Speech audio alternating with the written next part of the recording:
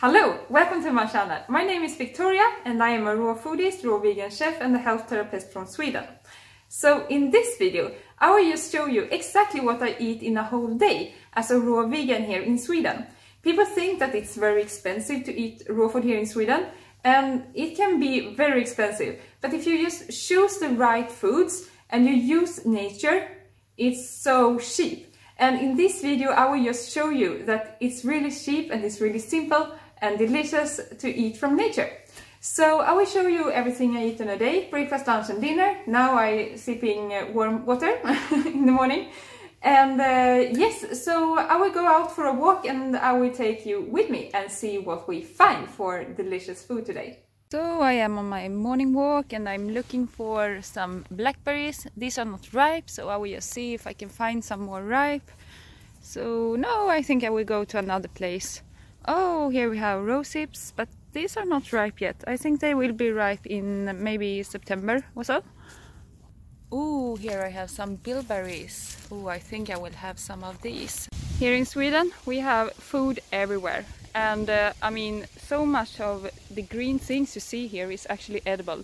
You just know what to pick and I know that so I used to have courses in that too so I can learn other people and here we have love herb, for example.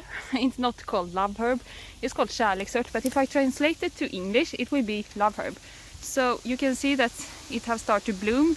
That means that the leaves I used to eat is, uh, is not as nutritious anymore, but it's still lots of chlorophyll and uh, minerals and uh, uh, amino acids in there, but uh, before they bloom, they are more nutritious. But I eat them all year around.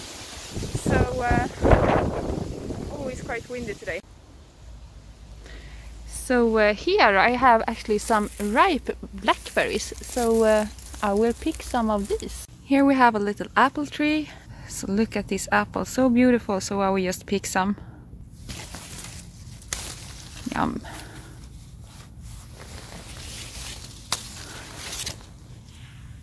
And these apples, you can't get better apples than these. These are so good. I, I think that Sweden have the best apples in the world. This is just incredible.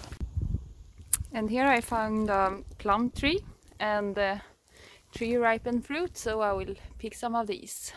Oh, here I have some krikon and they are actually falling down when they are ready, so I can just shake it and see if I got some. Here we have, and here under, two they're so delicious. It's like plums.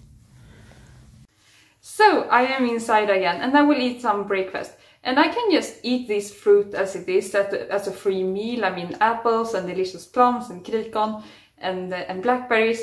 But I will just make a little special today. So I will blend the blackberries like a sauce and uh, and I will uh, have it together with the other uh, ingredients I use. So I will just show you how to make. And I really love to, to make a sauce of blackberries because they have so much seeds and they used to stick in the teeth and and uh, the, the, seeds are, are so nutritious so by blending them you can just um, open up the walls a bit so so you can absorb the nutrients in the seeds better. It's so much omega-3 and antioxidants in the seeds and also amino acids.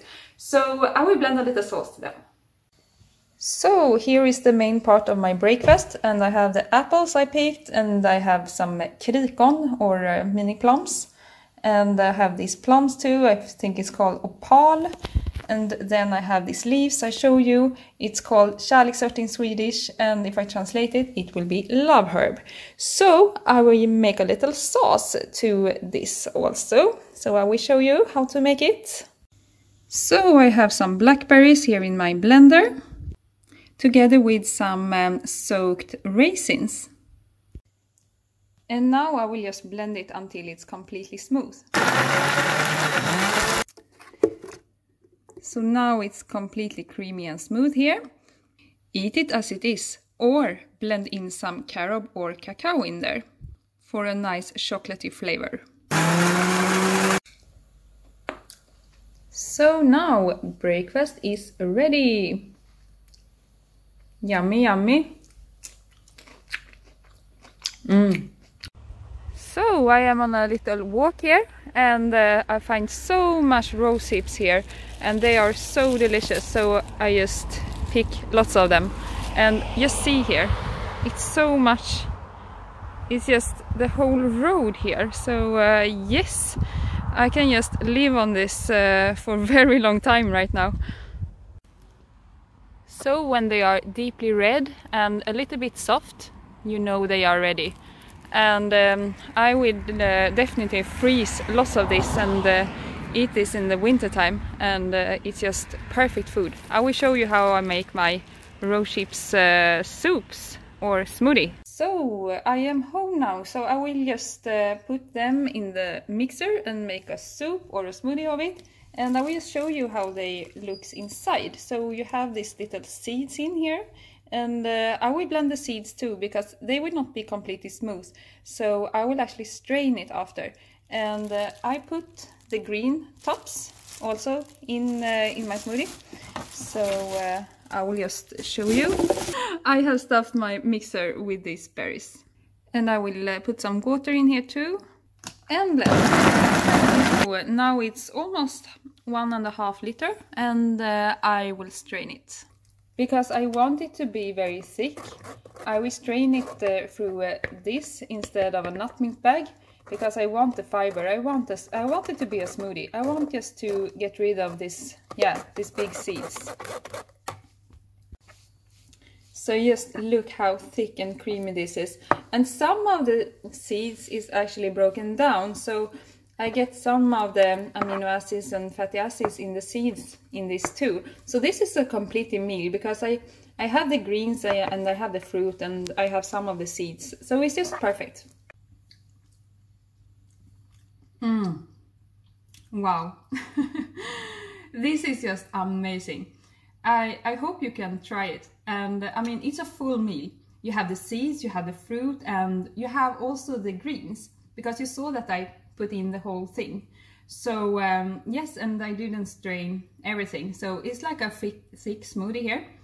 And um, I have my rest here. And uh, I will probably eat it, all the whole thing. Uh, so it's, it's just a perfect mono meal, I think. And there's so much nutrition in this. So, um, so I feel that I have lots of power after I've eaten it. And um, I really love to eat these rosy soups all year around. But I used to eat it every day in the autumn and then I freeze so I have for the rest of the year. And and different rose hips taste different uh, depends on where you pick them too and we have different varieties. So so now in August we have this variety and then in, in uh, September we have another and then in October we have another and in November too and then it's just the same and then I can freeze it and yeah, it feels perfect and this is so good. So uh, I am about uh, picking some uh, dandelion greens here and uh, I will use this uh, for my salad and uh, yes it will be so delicious. I will show you how I make my salad very delicious um, and make these taste very good. So oh these are so beautiful. So now it's time for dinner and I will show you how I make my dinner salad. And uh, salads can be very expensive here in Sweden if you want to eat organic. Because, I mean, lettuce and, and these kind of greens and spinach, they are so expensive. And you actually don't need it. Because you can find these delicious greens here in nature. And the greens in nature is so much more nutritious. And uh, they also have these bitter substances I don't know how you say it, but yeah, I hope you understand what I mean. Uh, and these bitters are very good for the body, it's good for the liver, good for the gut, and it's good for, for overall health because it balances out all the sweets and salts and, and these kind of flavors we eat. So it's very good to, to just get in balance in your body.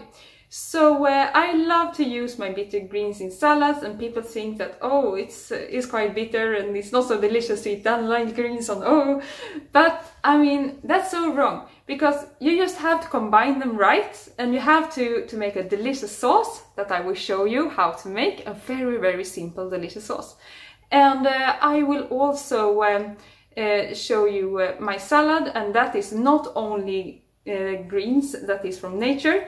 I have also cabbage and carrot that gives it more like texture and crunch and uh, also some sweet. And uh, that combination is very, very good. So when you mix that with the sauce, you don't feel this, um, yeah, weird um, hardcore feeling when you eat it. So uh, you just have to combine them right. So I will just show you how I make that. So I will make my sauce and uh, I will show you my salad. So while we make the sauce, so I will have my sunflower seeds and you see there, they have started to grow a little bit. So this is just perfect if you ask me.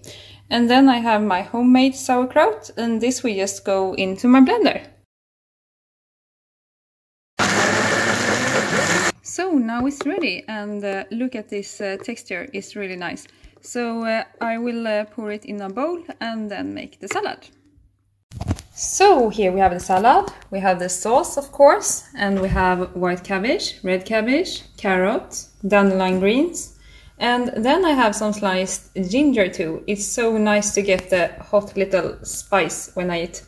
And then I have rulleka, and I will eat some of these berries. They are quite strong, as I said before. So uh, now I will just mix uh, some of the sauce with this and uh, maybe have some crackers to it. And when you mix the sauce together with the, the salad, it's important that you really mash it, mash it down because uh, that will make the salad more soft and uh, it will absorb so much of the nice flavors from the sauce too. And I saved some of the sauce because I will eat it with uh, some of these crackers. So this is just a perfect meal, I think. So, of course, I have to make some more fun uh, for Instagram with this. So if you like this video, give it a thumbs up and don't forget to subscribe to my channel. Bye!